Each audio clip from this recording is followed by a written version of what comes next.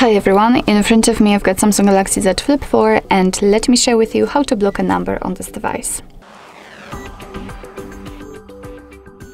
So basically we've got two different ways to block a number. Uh, the first one is the way to block a number which is currently saved on your contacts and the second is let's say manual where you can enter the number without the need to save it.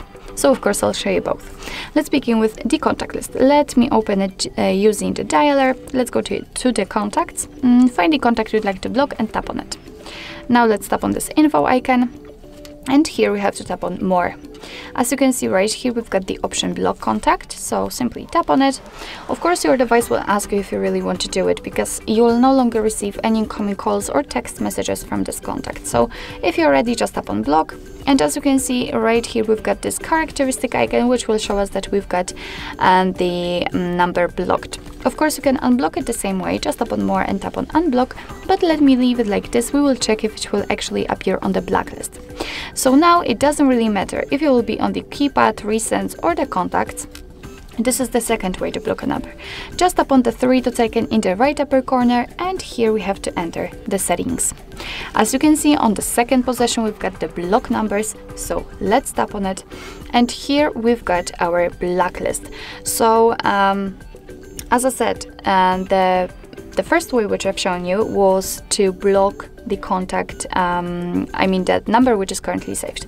And as you can see, of course, here we can enter the contacts or the recents, and this way is a little bit different um, because here you will be able to block a lot of numbers in a row. So as you can see, you can mark them, and in a previous way, you will have to do it um, manually one by one. Um, I mean, one by one, just.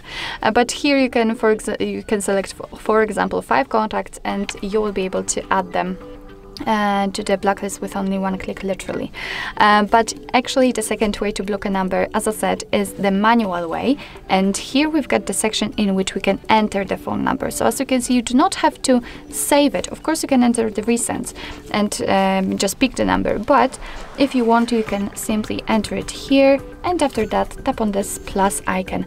And as you can see it will be immediately applied to the blacklist which simply means that you will not receive any incoming calls or text messages uh, from this number. Of, co of, course if you want to you can unblock those numbers as you can see just by tapping on this minus um, icon right next to them and uh, they will be unblocked.